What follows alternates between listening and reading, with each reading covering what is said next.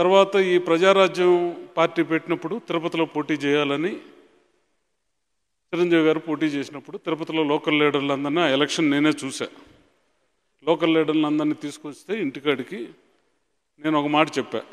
Sir మీరు వాళ్ళు ఏం అడిగినా మీరు సరే చెప్పండి సార్ నేను కొరవ నేను చూసుకుంటాను.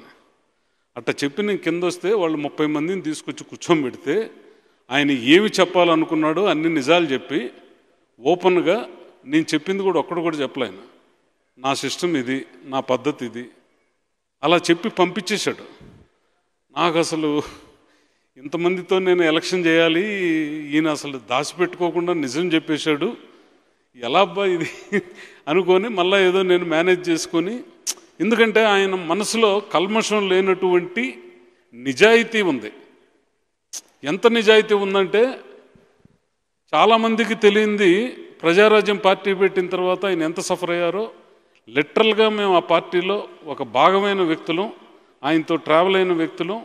తిరుపతి ఎలక్షన్ కోసం ఎలా చేసామో ఫ్యాన్స్ అందరికీ తెలుసు. మీకు ఎవ్వరికీ తెలియని నగ్న సత్యం ఈరోజు సారు కూడా చెప్పకుండా చెప్తున్నా. ఆయన గురించి చాలామంది అమ్ముడు పోయారు అమ్ముడు పోయారు అంటున్నారు. మీకు ఎవరికీ తెలియదు. ఇదే మద్రాసులో ప్రసాద్ ల్యాబ్ పక్క నుండే కృష్ణా గార్డెన్స్ అనే ప్రాపర్టీ అమ్మి ప్రజారాజ్యం పార్టీ క్లోజ్ చేసే రోజున ఆయన అప్పులన్నీ తీర్చారు. అంత పెద్ద ప్రాపర్టీ అమ్మిన వ్యక్తి ఆయన. ఇది ప్రపంచానికి తెలియదు ఆయన కష్టంతో ఎంటైర్ ఫ్యామిలీ సినిమా ఇండస్ట్రీ ఉంది. ఈ రోజుకి ఉదయం ఆరు గంటల ఐదు గంటల నుంచి నిద్రలేసి పనిచేసే వ్యక్తి గురించి ఎవరు పడితే వాళ్ళు మాట్లాడుతూ ఉంటారు. ఏదంటే అది రాస్తానే ఉంటారు నా గురించి రాయమనండి ధైర్యం ఉంటే నా గురించి ఎవడు రాయడు. ఏముంది నా గురించి రాసుకునేదానికి నేను రెడీ దేనికైనా? ఇంకా ఆయన స్పెషల్ పర్సన్ కాబట్టి అందరి దృష్టిలో ఆయనే. అంటే ఏదంటే అది రాయొచ్చు. వాళ్ళకి హక్కు అయిపోయింది. కళ్యాణ్ గారు కూడా నేను ఈరోజు చెప్తున్న కళ్యాణ్ గారి గురించి నగ్న సత్యం. కళ్యాణ్ గారిని మీరు ఏమైనా అనండి. ఎవడైనా సరే చిరంజీవి గారిని అంటే మాత్రం ఆయన నేరుగా రోడ్లోకి వెళ్ళిపోతారు. మేము లిటరల్గా ఆయనతో ట్రావెల్ అయ్యి చూసిన వ్యక్తులు. ఆయన ఏమైనా అనండి మీరు? భరిస్తాడు. ప్రజారాజ్యంలో నుంచి పుట్టినటువంటి బాధ ఆ ఆవేశమే ఈరోజు జనసేన.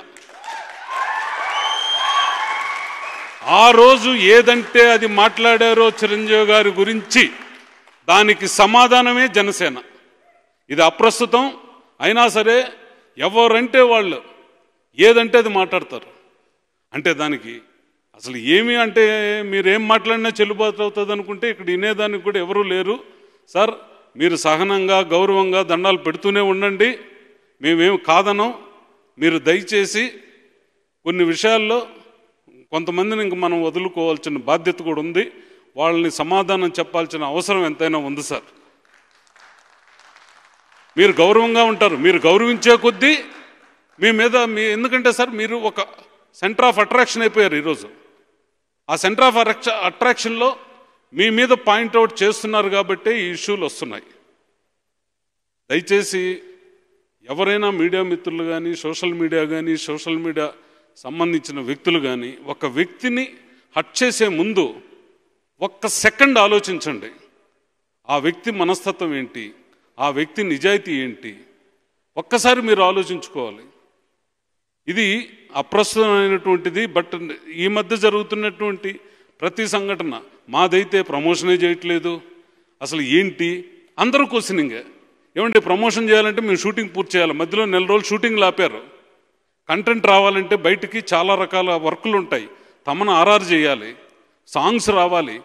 మీకు ఎవ్వడికి తెలియదు ఇరవై మూడు ఇరవై నాలుగు షూటింగ్ చేసాం ఆ సాంగ్. ఆ వరీనా అమ్మాయి అనే సాంగ్. అదే చోటగా Naidu two days day and night ఉండి నాలుగు రోజులు ముందు వెళ్ళి సెట్లో కూర్చొని చేశాడు. మేము ఏ రకంగా సప్లై చేయగలం? తమను డే అండ్ నైట్ పని చేశాడు. తమను దాదాపు పదిహేను రోజులు థియేటర్లో ఉన్నాడు. నేను పదిహేను రోజులు థియేటర్లో ఉన్నా. డైరెక్టర్కి నిద్రలేదు. డైరెక్షన్ టీమ్కి నిద్రలేదు. మా మేనేజర్లు ఎవరికి నిద్రలేదు. మా అప్పారావు గారు అయితే ట్వంటీ డేస్ హైదరాబాద్ బాంబేలో కూర్చొని ఎన్వై స్టూడియోలో గ్రాఫిక్స్ డిపార్ట్మెంట్లో ఫెయిన్ టైప్ నైట్ ఒంటి గంటకు పడిపోయాడు. డాక్టర్ని తీసుకెళ్ళి చూపించాం. ఐదో తారీఖు మీకు అందరికైనా ఒక అద్భుతమైన చిత్రాన్ని అందించాలని. అందువల్ల ప్రతి ఒక్కరూ మా స్టాఫ్ కానివ్వండి ఈ సినిమాకి పనిచేసిన అందరు కానివ్వండి అందరూ ఎంతో కష్టపడి పనిచేశారు. సార్